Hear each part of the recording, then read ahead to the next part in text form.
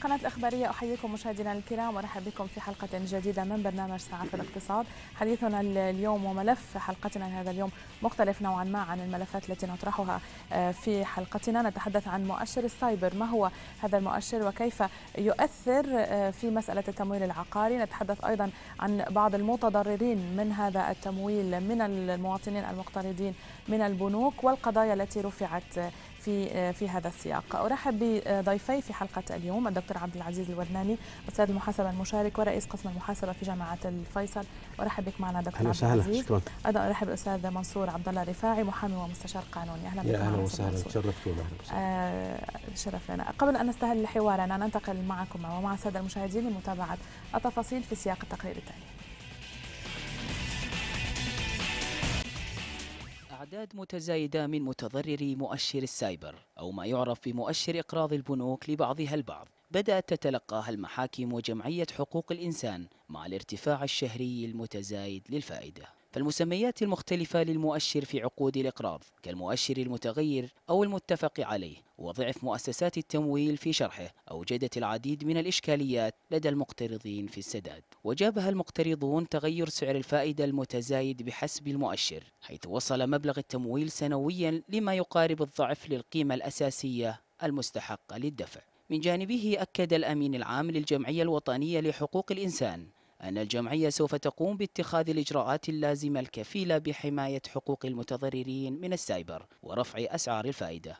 وأشار محامون إلى تضرر موكليهم في المحاكم من تلقي إشعارات عدم الاختصاص مشيرين إلى توجه مستقبلي للرفع لجهات قضائية أعلى لرفع الضرر عن موكليهم. من جهة أخرى توضح عقود السايبر بحسب مصرفيين إلى وضوح البنود الخاصة بمتغير سعر مؤشر السايبر خلال سنوات الإقراض يقابلها وجود تظلمات بإخفاء حجم أعلام الفائدة المتغيرة. ومع إطلاق أول شركة متخصصة في نشاط إعادة التمويل العقاري من المتوقع خلق منتجات تمويل أكثر قدرة على تكيف السوق العقاري وخفض نسبة الفائدة على المنتجات التمويلية بعيدا عن تظلمات السايبر. ويبقى المتضررون من مؤشر سايبر بين خيارات محددة. أسوأها استرجاع العقار في حال عجز السداد الذي يصل في بعض الأحيان إلى أكثر من 60% من الراتب.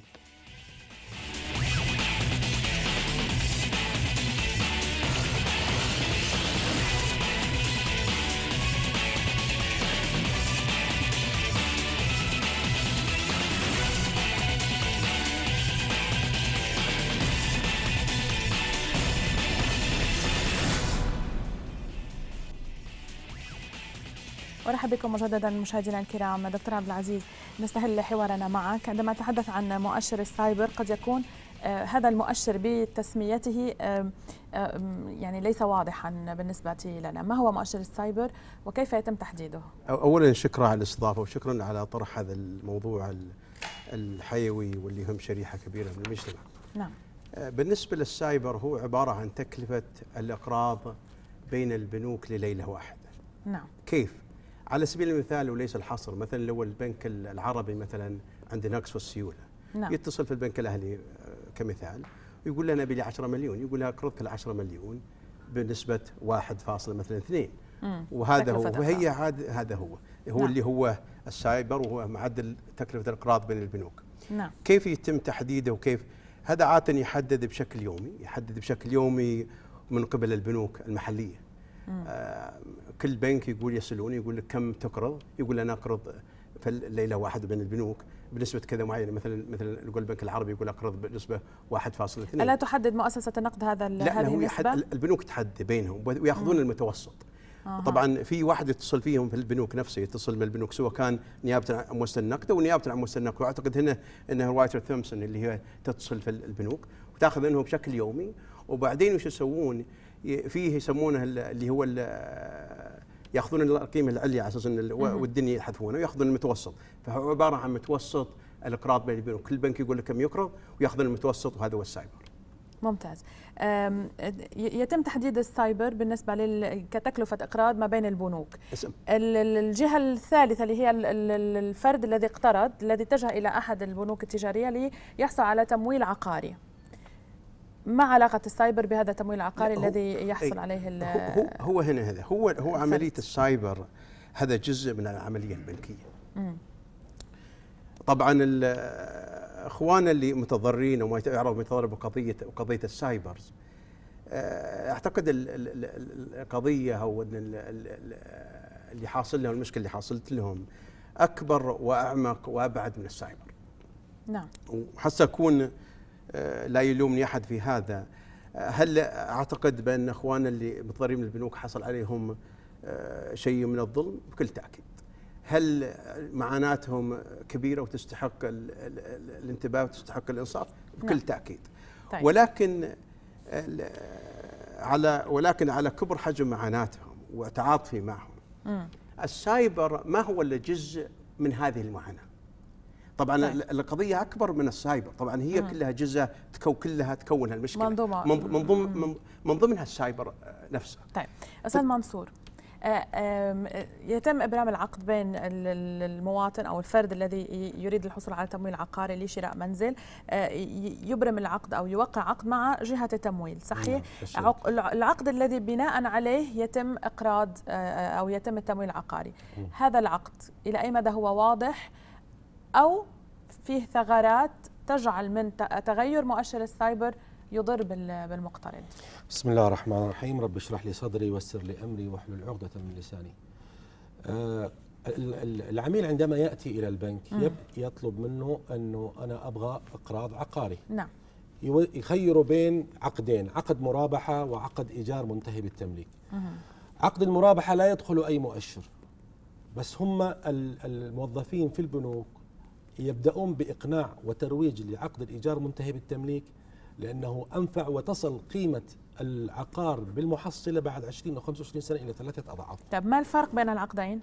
العقد المرابحة هو عقد آه، آه، عمولة ثابتة قسط ثابت مدة ثابتة معروفة لا تتجدد مم. تكون أحيانا 6 7 8% غير معروف الإيجار المنتهي بالتمليك كل سنتين يتم عمل آه، إعادة جدولة ويتم إعادة تقييم للعقار بناء على مؤشر السايبر. فقد تكون القسط الشهري 5000 في بعد سنتين يتم إعادة تقييمه يوصل إلى 6000 ثم مم. بعد سنتين 6700 بناء على تقييم العقار بناء وبناء على مؤشر السايبر. بناء على مؤشر السايبر. والموظف للأسف موظفين البنوك أنا ممكن الآن يعني أتكلم بصفة قانونية ومصطلحات قانونية أجعلك تنظري لي لكن البنك موظف البنك إيش مشكلته؟ إنه ما يشرح صح للموظف. قد يكون هو للعميل قد يكون موظف البنك هو نفسه جاهل في هذا المؤشر. فأغلب الأغلب المستفيدين يقولون الموظف في البنك يقول لنا قد يزيد 100 قد يزيد 100 قد يزيد 50 قد يزيد 70 فأنا كعميل ومحتاج بيت وأبغى أسكن وأبغى شيء اجتماعي مهم بالنسبة لي وهو سكني أقبل بال 100 ريال وال 150 ريال. لكن في واقع الأمر لا. هو يزيد أكبر من كذا بكثير. طب لماذا يعني يتجه العميل إلى عقد الإيجار المنتهي بالتمليك ولا يتجه إلى عقد المرابحة؟ لأن العمولة منخفضة ابتداء. آه العمولة هي يعني نوع من الإغراءات نوع من الإغراء. ويقول لك أنا أنا عمولتك الآن 3.2 مثلا 3.2 لكن بعد سنتين الثلاثة هذه حتصير خمسة. بعد سنتين الخمسة حتصير ستة. بعد سنتين الستة حتصير سبعة. وهكذا. نعم. دكتور عبد العزيز آه، اذا هناك متضررين من العقود التمويليه ما جاوبتك على سؤالك بس أختي الكريمة. نعم. طيب. بالنسبة للعقد آه، هناك ثغرات كثيرة في عقد الإيجار المنتهي بالتمليك. يضعون أن آه، بند اسمه بند المؤشر متغير. ما يشرحون للعميل بأن هذا البند اسمه مؤشر سايبور وضعه كذا كذا كذا. يعطوا له إيهام أو عدم شرح بشكل جيد. باقي الأمور ما عليها إشكالية بس البند السايبور هو اللي عليه الإشكالية بند المؤشر المتغير, المتغير. الذي قد يتغير بشكل بشكل دائم هو يتغير مبالغ فيه يتغير. طيب دكتور عبد العزيز عالميا هل نفس المعمول به هنا في المملكة فيما يخص مؤشر السايبور بين البنوك والقروض التمويلية هل عالميا هذا في البنوك العالمية هل هذا الأمر أيضا موجود ويؤدي إلى تضرر وإلى إلى أن يدفع العميل في النهاية مبالغ طائله تكلفة التمويل؟ هو هو هو عمليه السايبور هذا جزء من العملية البنكية. مم. لكن اللي اللي حاصل عندنا هنا وخليني لو سمحت لي وسمح وقتك تفضل. اللي اللي حاصل عندنا هنا عندنا إشكالية والإشكالية اللي موجودة اللي هي خلت التكلفة عالية وبرضه ما صار في حماية للمقترضين واحد متعلق بالصناعة البنكية، الصناعة البنكية وخاصة ما يسمى بنوك التجزئه أو البنوك التي تقدم خدمات للأفراد. نعم. هذه البنوك تعاني ما يسمى باحتكار القلة. واحتكار القلة هذا سبب مؤسسة النقد، مؤسسة النقد يمكن عن حسن نية آه، أوقفت تطور العملية البنكية خاصة في السوق السعودي، حماية نعم. للسوق السعودي وبالتالي زي ما يقولون إذا الشيء زاد عن حده انقلب إلى ضده. فتخيلي الاقتصاد اقتصاد بحجم الاقتصاد السعودي. نعم. واحد من أكبر 20 اقتصاد في العالم ما يوجد فيه إلا 11 بنك 11 بنك. وهذا وش معنى؟ هذا بالعربي غياب المنافسة. لما تغيب المنافسة وش تسوي؟ المنافسة عادة لما تكون موجودة في السوق هي ترفع كفاءة الخدمة تحسن الخدمة وتخفض التكلفة والعكس هو الصحيح الشيء الآخر اللي اللي هو عندنا إشكالية منه وأعتقد هذا هو الجزء الرئيسي الثاني في مشكلة رفع التكاليف والسبب لتضرر إخواننا من مضطرين من قضية السايبر هو عدم وجود حتى الحد الأدنى من الحماية. يعني عندنا مشكلة في عملية التشريع فبالتالي الحماية منين تجي؟ الحماية في السوق عاده في الأسواق تجي من نقطتين. واحد المنافسة بالتالي لما يكون في منافسة العميل لما ما يحصل يروح للي غيره لكن إحنا لكن عندنا سياسة مؤسسة النقد إيه؟ بالحفاظ على عدد محدد من البنوك يعني لها إيه؟ أهداف أيضا هو ما هي ما هو ما هي الاهداف لها أهداف وأنا أعتقد الهدف عن حسن نيه فعندنا طبعا هنا لما تكون الحماية الحماية عادة في, الأسواق المنافسة. تجي تجي من ثاني المنافسة نعم لا إحنا المنافسة هذه عندنا تقريبا من, من لأن لأن عندنا احتكار قلة. الشيء الآخر تكون الحماية القانونية مم. والقانونية هذه وظيفة الدولة الدولة نعم. في اي إقتصاد في العالم سواء السعودية ولا في غيره هي حماية حماية الضعيف من استغلال وبطش القوي لأن القوي مم. قادر على حماية نفسه. فهذه عندنا جزئية إحنا في مشاكل التشريع. ممتاز. فلما يكون عندنا لما يكون وأنا أستاذ business فما فيه أستاذ جامعي في ال business أكثر تعاطف مع قطاع الأعمال غير حقين كلية الأعمال. لكن هنا في أحيانا الرأسمالية والاقتصاد نفسه هو يكون عدو نفسه أعطيك مثال بسيط جدا. لما تنتفي المنافسة في السوق ولا يوجد حتى الحد الأدنى من الحماية وش الناتج؟ الناتج ما يسمى بالرأسمالية المتوحشة. فهذه هذه الإشكالية. الحلقة الأضعف هو العميل هذا هو, هو المتضرر هذا هو طيب. القضية. آه، أستاذ منصور البنك يحمي نفسه في بند الإيجار المنتهي بالتمليك بهذا البند أو في العقد يحمي نفسه ببند المؤشر المتغير. اذا كيف يحصل المتضرر حقه؟ آه المسألة آه أكبر من إنه في حق بسيط أو لا المسألة إنه إنه العميل هذا يحتاج إنه يلجأ إلى جهات قضائية حتى يقوم برفع دعوة نعم. لإبطال هذا البند أو بهذا لإبطال البند لإبطال يعني لأنه هذا يعتبر بند مم. فاسد شرعا يجب أن يبطل مم. توجهنا إحنا برفع دعوى في المحكمة العامة، المحكمة العامة أفادت بأنه هذا من عدم اختصاصها. مم. ومع العلم أنه رفعت المعاملات أو القضايا إلى الاستئناف والاستئناف كان في تضارب عنده بعضهم أيد الاختصاص وبعضهم أيد عدم الاختصاص. نعم. رفعنا قمنا برفع الآن آه، آه، مخاطبة مؤسسة النقد، مؤسسة النقد جهة مسؤولة وجهة رقابية وحسب نظام التمويل العقاري يحق لمؤسسة النقد إذا وجدت أن هناك منتج سيء تسحب المنتج هذا من البنوك منتج تمويلي. مم. مؤسسة النقد هي التي تقوم بتأييد هذا العقد الذي تقوم البنوك بإصداره وكتابته أو تعد لهم نموذج مسبق. فأنت يا مؤسسة النقد أحد أمرين إما أنك أعدتي قمت بإعداد نموذج مسبق وإما أنك وافقت على النموذج الموجود في البنوك. كلا الأمرين في أنت على إشكالية. أنت المسؤول أمام الناس أنت المسؤول أمام الدولة على أنك أنت آه، سمحت بوجود هذا العقد الفاسد على آه، ما قمت بإنشاء عقد سليم ابتداء ما الحل؟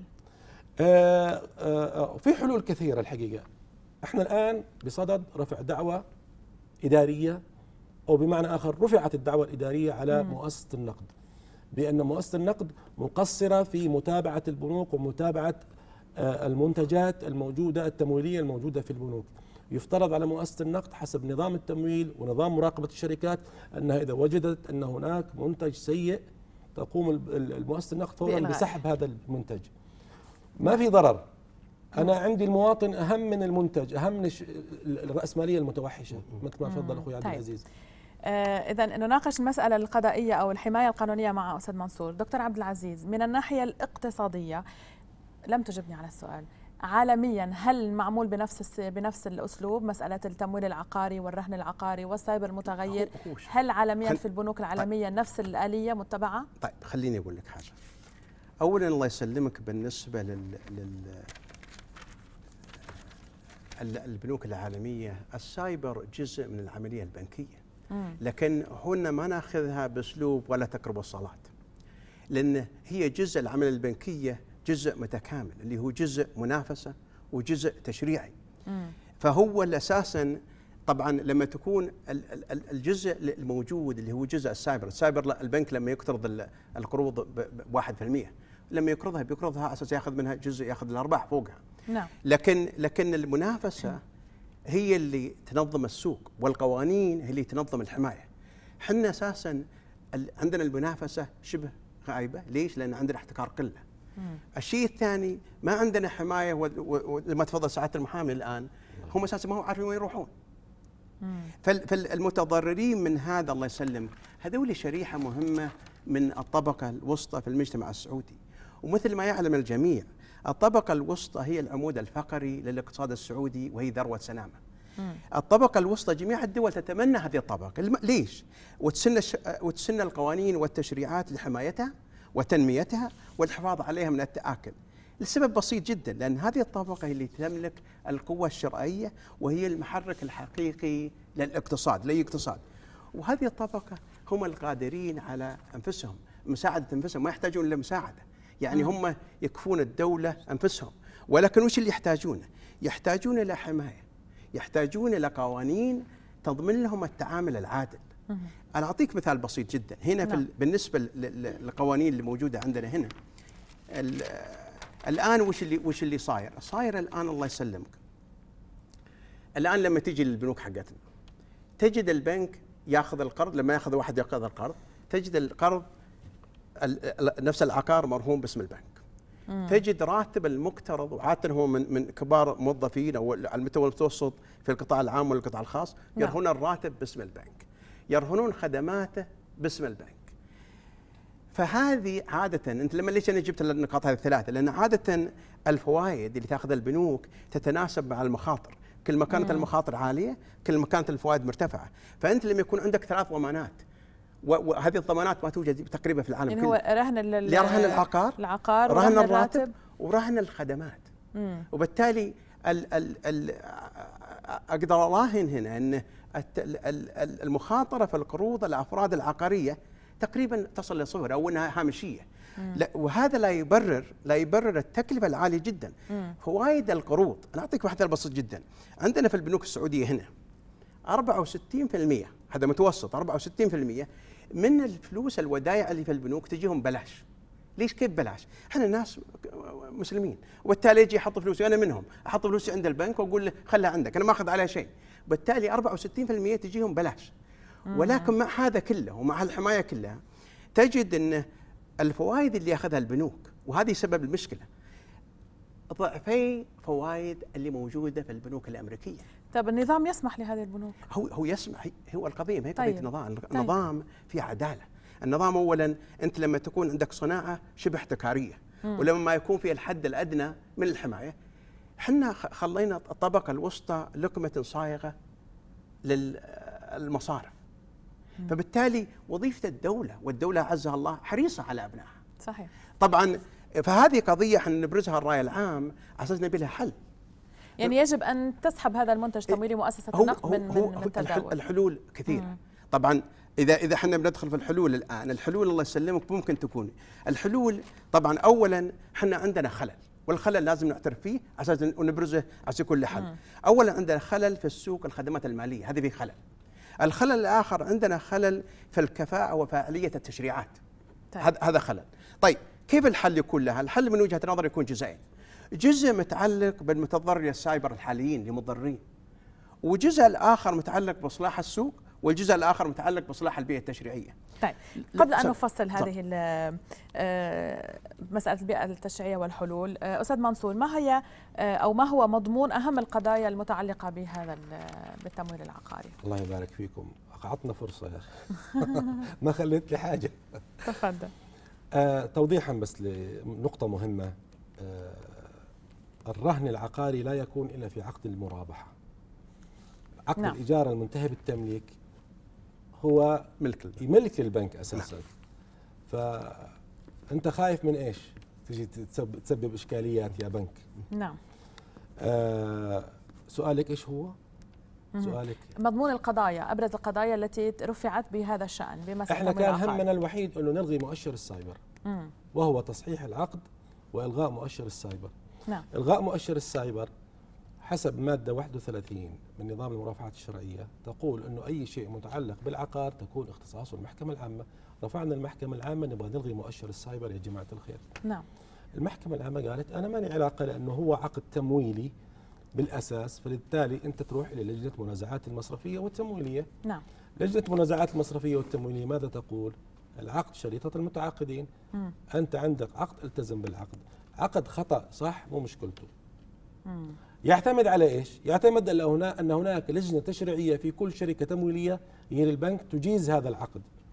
طيب اللجنه التشريعيه هذه آه، اولا آه، لا أقبل منها أنا فتواها لعدة أسباب. من أهمها وصول الصورة خطأ لها اللي تفتي فيها.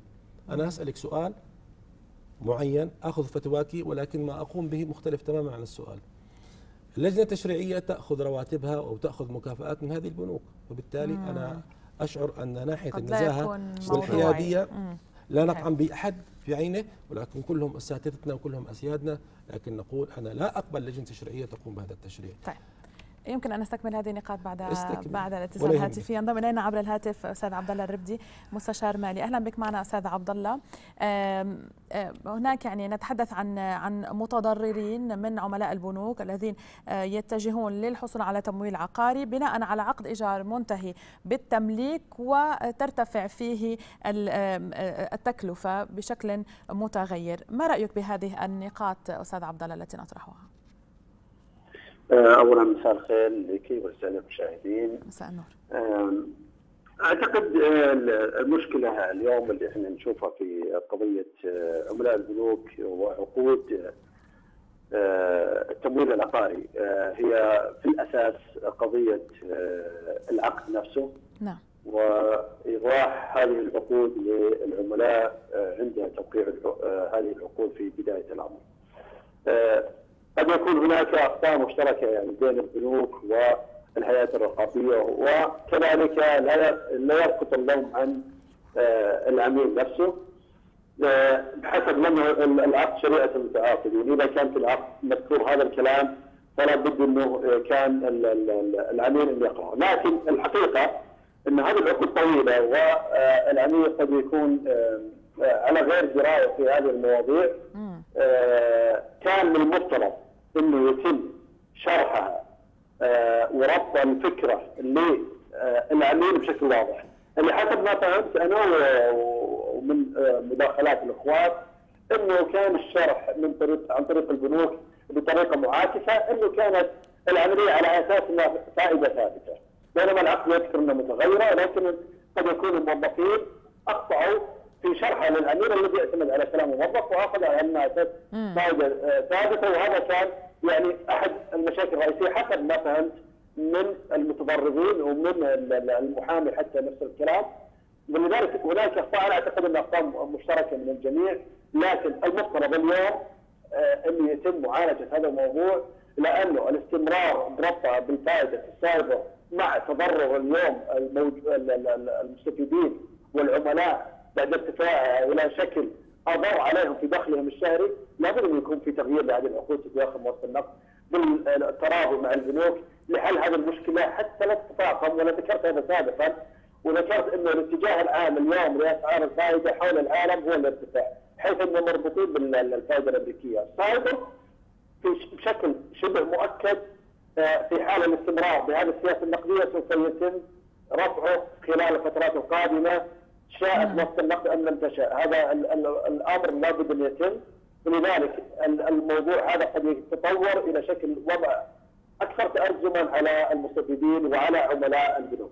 طيب اذا هل يجب على سياسة النقد أن تغير على مؤسسة النقد عفوا أن تغير هذه السياسة أو تسحب هذا المنتج التمويلي من ال من ال من البنوك أو من التداول لتحمي العملاء إن كان الخلل في عدم هل هو الخلل في عدم فهم العميل لهذا لهذه التكلفة التي تتغير وتزيد مع مع السنوات؟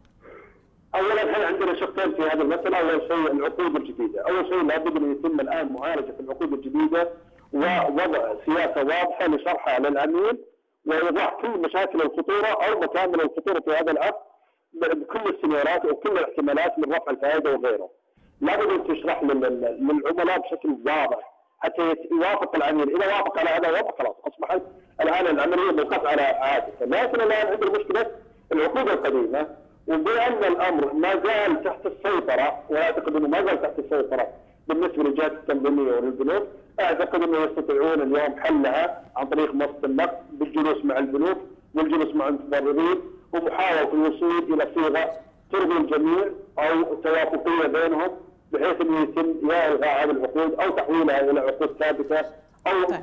حسب ما يتم يعني آه، حسب المصلحة العامة نعم. لجميع الاطراف وعدم الانتظار أهم شيء عدم الانتظار حتى تتفاقم المساله مع ارتفاع التكاليف المتوقعة خلال المستقبل. طيب شكرا لك أستاذ عبد الله ربدي مستشار مالي، أستاذ منصور نعود لنستكمل. ما كنا قد ما كنا نتحدث عنه قبل قبل الاتصال، تفضل. بعد كنا نتحدث عن مضمون أبرز القضايا المرفوعة. وحدثنا أيضا عن اللجان اللجان التشريعية التي يتم أو نعم. التي تبت في هذه فاحنا القضايا. إحنا قلنا إنه يفترض على مؤسسه النقد أن تقوم بالتأكد ومراجعة هذه العقود بشكل جيد. نعم. آه، مؤسسة النقد كما ذكرت سابقا إما أن تقوم هي بإعداد نموذج لهذه العقود أو توافق على نموذج معد مسبق وكلا الأمرين هو يضع مؤسسة النقد تحت المساءلة. نعم. أنت يا مؤسسة النقد بصفتك جهة رقابية بصفتك تتبعين إلى نظام مراقبة الشركات ونظام نعم. التمويل ماذا فعلت لهؤلاء الناس مم.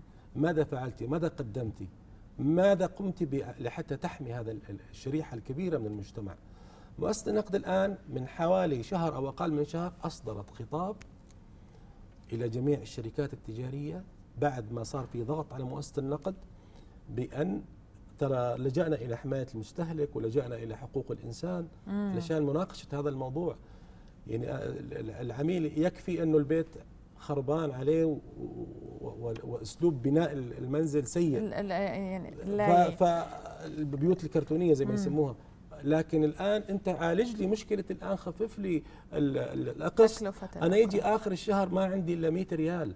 ومؤسسة البنوك الآن تسحب فوق ال 70% ونظاما ممنوع تسحب أكثر من ثلث للموظف والربع للمتقاعد مؤسسة النقد 100% مسؤولة مم. أمام الله سبحانه وتعالى وأمام ولاة الأمر طيب. يجب على مؤسسة النقد أن تتحرك بأقصى سرعة طيب. يجب مم. وإحنا الآن مؤسسة النقد نقترع عند القضاء وسوف طيب. قدمنا دعوة ضدهم في المحكمة الإدارية وسوف نتواجه عند القضاء بإذن الله تعالى. دكتور عبد العزيز إن كان من الصعب الآن على المدى المنظور على الأقل حماية المواطنين أو العملاء عبر زيادة المنافسة وزيادة عدد البنوك في السوق ما هي الحلول بوجهة نظرك؟ أولا أنا شاكر لك أعطي الأستاذ المحامي شيء وقت لأن ما ودنا نزعل المحامي لأن المحامي يمكن نحتاجه هو نوز ما حد يدري. فل... أرفع دعوة بعدين عليكم. فالله يسلمك. هو بالنسبة للحلول هي جزئين الجزء الجزء الأول مم. متعلق بالضرريه السايبر نعم. قضيتهم تحتاج إلى حل وحل سريع مم. ومن وجهة نظري الحل يجب أن يكون على قاعدة لا ضرر ولا إضرار لا ضرر فيهم ولا إضرار في المؤسسات المالية طيب. طبعا الحل يكون واحد من اثنين من وجهة نظري نعم. يا الزام البنوك بالرجوع إلى العقد الأصلي اللي وقع على العميل.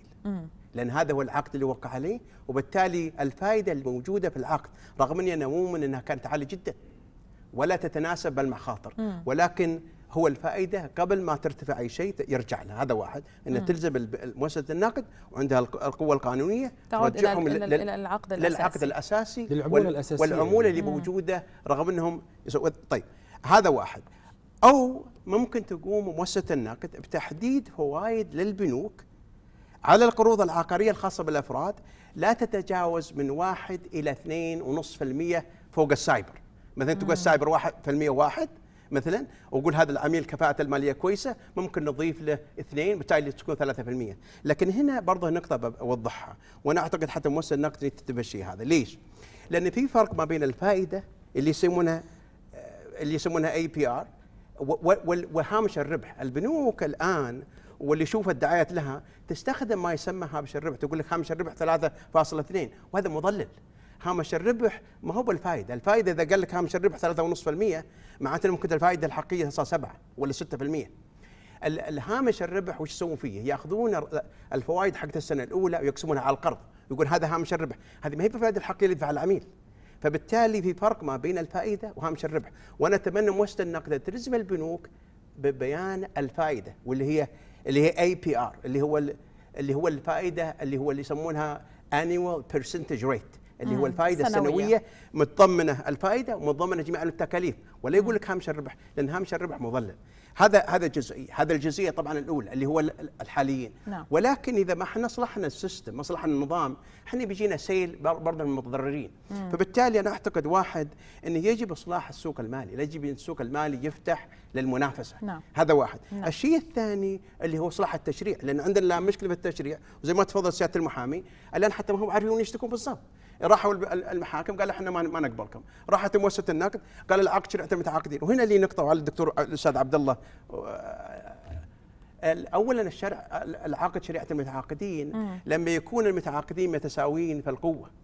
لكن لما آه. يجيني واحد اللي هو ما شاء الله عنده من المحامين وعنده من القانونيين وعنده من ال ال ال ال وعنده من الخبرات ويجي واحد ما عنده ولا شيء تقول لا هذا هذا هذا مو مو عقد وهذا يعترف فيه. عقد ادعان إي هذا عقد ادعان ومعظم العقود الموجودة. شكرا سعد المحامي. هلا. معظم العقود الموجوده وأنا كتبت عنها قبل في عكاظ إنها عبارة عن عقود إذعان. وهذا السبب هذه ليش؟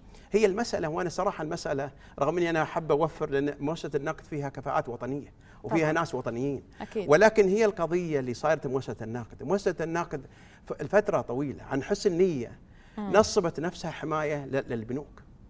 وهذا عن حسن نية. ما هو ما أعتقد إنها سوت إنه والله طب هي تحمي تحمي قطاع باكمله يعني هو- هو- قطاع البنوك هذا ممتاز.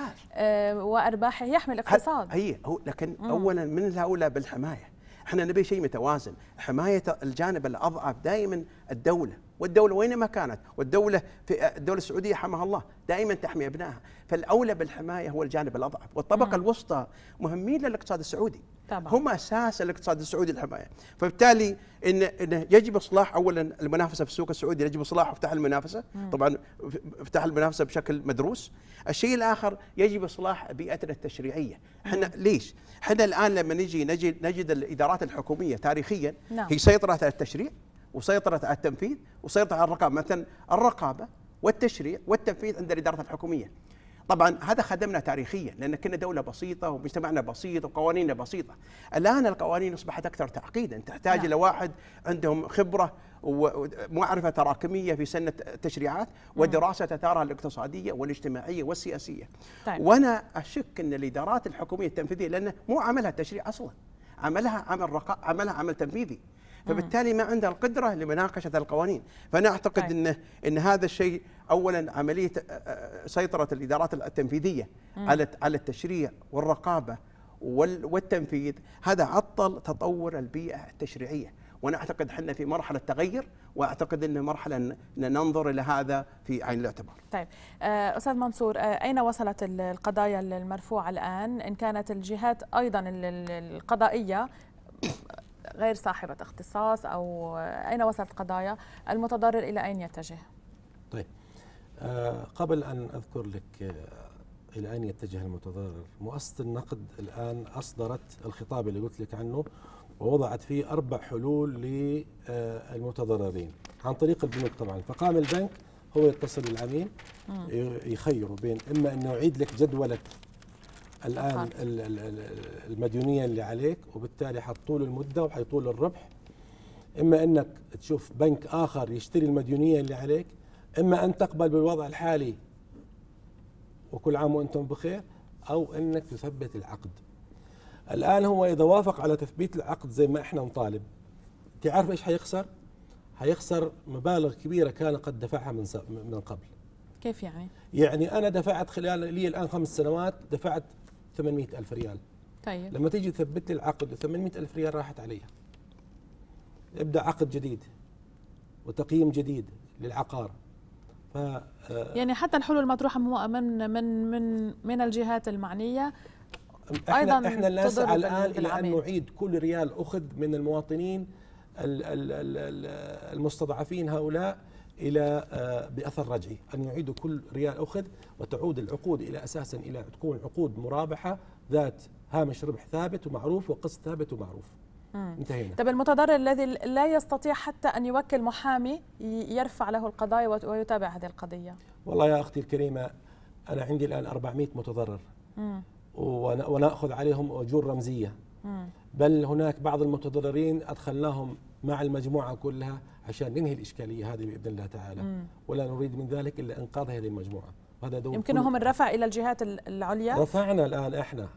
أنا رفعت الآن خطاب إلى مقام مجلس الوزراء. حتى تناقش قضية هناك تناقض بال ب- بالأنظمة. عندك النظام الماده 31 نعم. الموجوده في نظام المرافعات الشرعية والمادة الثانية الفقرة الثالثة في قواعد آه، التعامل مع اللجان المصرفيه والتمويليه تم كتابة خطاب إلى مؤسسة النقد بأن مؤسسة النقد قومي بدورك الحقيقي أنت عليك واحد اثنين ثلاثة أربعة.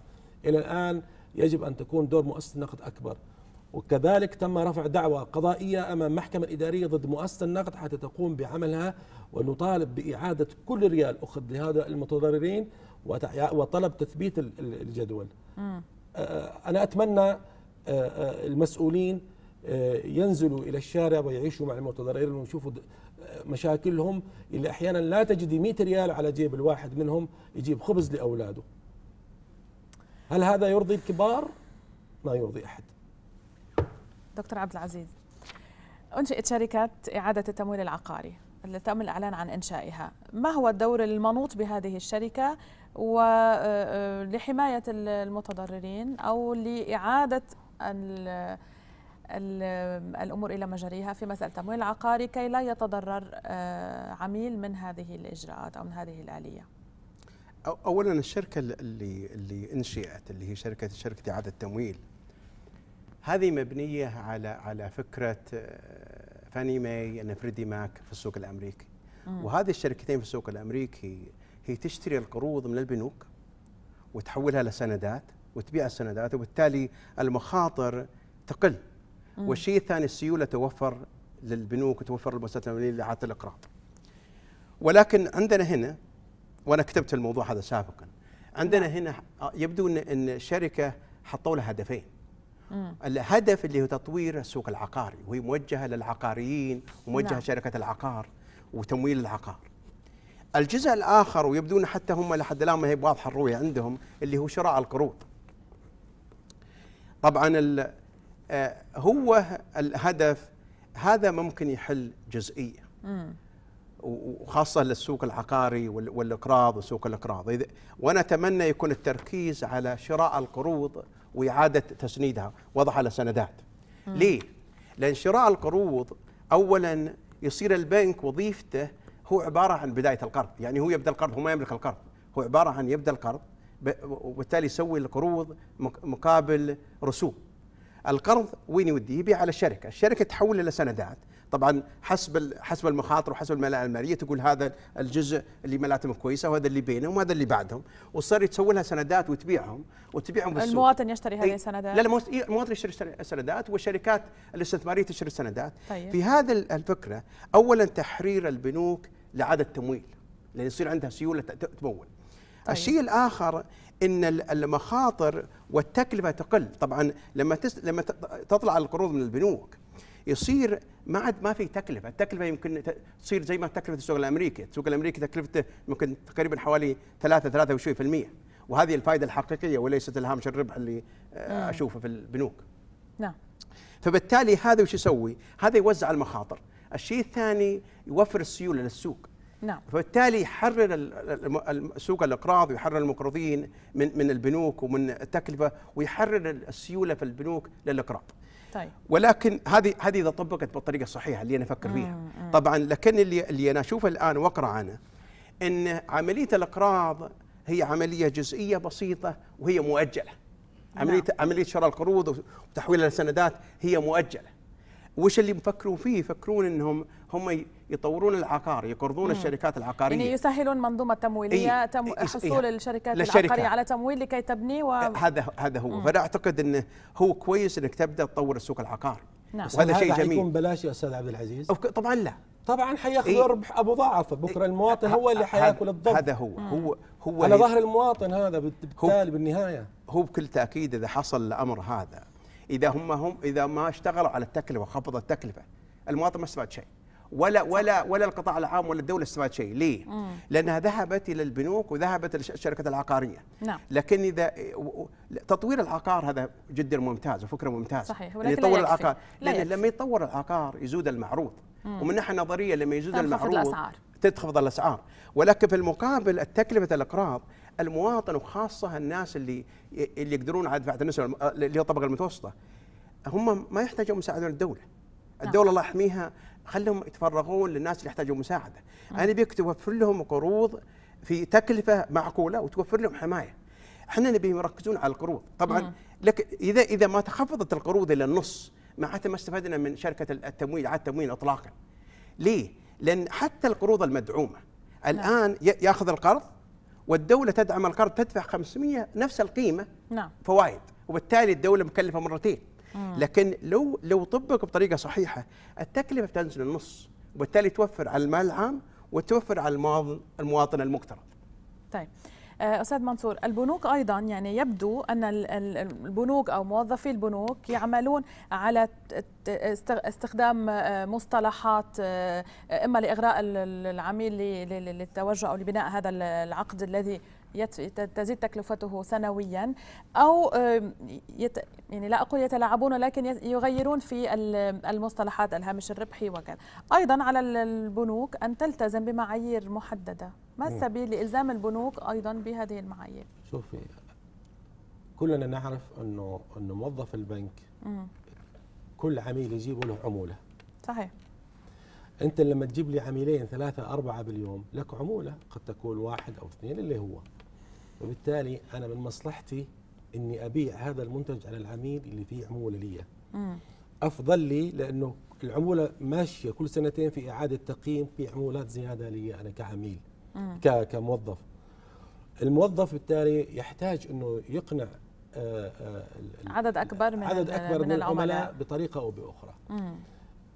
وإحنا ناس بسيطين يعني زي ما تفضل أخ عبد العزيز ناس بسطاء طبقة متوسطة تريد آه، يعني السكن البسيط اللقمة البسيطة العيش البسيط حتى تستطيع أن تمضي بهذه الدنيا. مم. الإشكالية الآن أن لما تيجي تثبتي على الموظف أنك أنت قلت هذا الشيء للعميل للعميل يقول لك لا. هل هناك شيء مسجل علي؟ هل هل؟ وامكانيه إثبات انه الموظف قال هذا الكلام أو ما قاله مشكلة. صح. ما تستطيع أنك تثبتي هذا الشيء. طب اذا يجب على ال- ال- العميل أن يكون واعي لكل هذه ال- الإشكالية م- البنك يرفض يعطيك العقد. أنا مو- واجهت أكثر من مرة انه العميل يكلمني هو عند البنك يقول العقد يقول كذا كذا ماذا أفعل؟ يا أخي العقد مكون عن- من من 100 بند. جيب العقد وتعال عندي في المكتب. ما يرضى البنك. لماذا؟ آه اسأل البنك. مم. أيضا مؤسسه مؤسسة النقد لا تفرض على البنوك إعطاء نسخة من يفترض- العقد إلى يفترض لا ال- تفرض. عليهم بس لا يوجد تنفيذ لا يوجد مراقبة لا يوجد متابعة. يجب على مؤسسة النقد أن تقوم بالمهام المنوطة بها. أنت لو تجي تشوفي نظام مراقبة الشركات ونظام تمويل الشركات ونظام الشركات تجد شيء رائع. أنا أكلمك بأمانة كقانوني تجد لكل ثغرة يوجد نظام. نعم. ولكن لا يوجد تنفيذ لا يوجد رقابة المحسوبية والرأسمالية والأمور هذه كلها تأخذ بعين الاعتبار. طيب دكتور عبد العزيز في نفس السياق يعني ألا يعني يكمن الحل أيضا في تسهيل المنظومة التمويلية عبر مثلا الصناديق العقارية المدرجة في سوق المال عبر شركات تمويلية أخرى غير البنوك يتجه إليها العميل للحصول على تمويل بتكاليف أقل وأيضا يعني تزيد من من الأذرع التمويلية في الاقتصاد. هو بكل تأكيد كل ما زادت المنافسة في السوق. كل ما حسنت الخدمة حسنت كفاءة الخدمة خفضت التكاليف. نعم. ولكن إحنا الآن الموجودين الشيء الثاني برضه عندنا عندنا نقص في التشريع عندنا عندنا مشكلة هذه مشكلة تشريعية ومشكلة أنا ليه؟ لأن بسبب أن إحنا لازلنا في طورنا التاريخي أن الإدارات التنفيذية متولية عملية التشريع متولية التنفيذ متولية عملية الرقابة نعم. وهذا بلغة الحوكمة يسمونه تضارب المصالح مم. ليه؟ لأن الحوكمة تتطلب استقلال هذه الوظائف نعم. الشيء الآخر اللي هو عندنا الجزئيه، واحد عندنا الجزئيه في السوق زي ما تفضلتي إن نحتاج زيادة الخدمات، نحتاج إلى منافسة في السوق، والمنافسة لما تستمر في السوق أكيد بتخفض التكاليف نعم. وتعطي المقترضين واللي طالب القروض خيارات أخرى، إذا ما وجدت عند البنك هذا نروح اللي بعده. نعم. ولكن هذه ما هي موجودة لحد في السوق هذه ما هي موجودة وأنا طيب. أعتقد هذه حصلت بحسن نية من أنا أفترض حسن نية لمؤسسة النقد مم. وليس دفاعا عن مؤسسة النقد طيب وأنا أساسا بالنسبة للمشكلة هذه أنا أضعها على اعتاب مؤسسة النقد لأن مؤسسه النقد المسؤولة عنها. مم. هي مؤسسة مسؤولة عن عن العطل اللي صار في التن... تعطيل المنافسة في السوق السعودي ومسؤولة برضه عن الثغرات التشريعية اللي موجودة. فهذه جزء منها. لكن القضية اللي اللي إحنا نحتاجها اولا إحنا نحتاج إلى حل لهالقضيه الصايرة لانها فعلا قضية إنسانية زي ما تفضل صحيح. وهذول هم الطبقة الوسطى اللي هم عماد الاقتصاد السعودي. فإحنا نعم. نحتاج إلى لهم اولا حلهم سريع. نعم. الشيء الثاني اللي هو قوانين حماية وقوانين تشريعية. ممتاز أستاذ منصور كلمة أخيرة قبل قبل أن نختم. آه، يجب أن نذكرها قبل الختام. يجب إيش؟ كلمة نذكرها قبل أن نختم. يعني ما هي آه، ما هي رسالة توجهها بدقيقة واحدة؟ آه رسالتي أوجهها إلى والدي خادم الحرمين الشريفين. م. وولي عهده الأمين محمد بن سلمان. نعم. أقول آه، أرجوكم آه، أن تلزموا آه، الجهات الحكومية بأن تقوم بدورها بشكل صحيح. ممتاز. إذا الدائرة الحكومية قامت بدورها بشكل صحيح انتهت أغلب المشاكل. ممتاز. شكرا لك أستاذ منصور عبد الله رفاعي محامي ومستشار قانوني. شكرا جزيلا لك. دكتور عبد العزيز الوذناني أستاذ المحاسبه المشارك رئيس قسم المحاسبة في جامعة الفيصل وكاتب اقتصادي شكرا جزيلا لك دكتور عبد العزيز. شكرا لك. مشاهدينا الكرام بهذا نكون قد وصلنا واياكم إلى ختام حلقتنا المتميزة بمحاورها لهذا اليوم. ختاما أشكر طيب متابعتكم. نلتقي بإذن الله غدا. من نفس التوقيت كونوا دائما على الموعد.